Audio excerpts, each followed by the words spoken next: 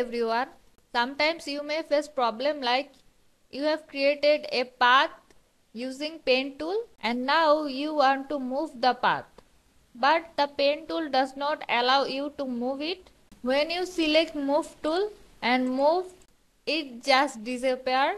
To fix that problem select this path selection tool and now you can move the path easily.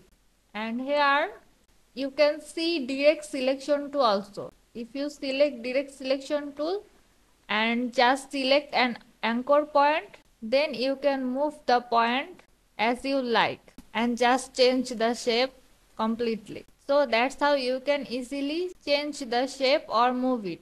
So that's it for today. If you like this video then click the like button and subscribe our channel for getting more video related graphic design, all types information, tips and tricks and free resource of premium product. We are here to share with you some amazing information and free resource of design. So stay with us. Thank you for watching.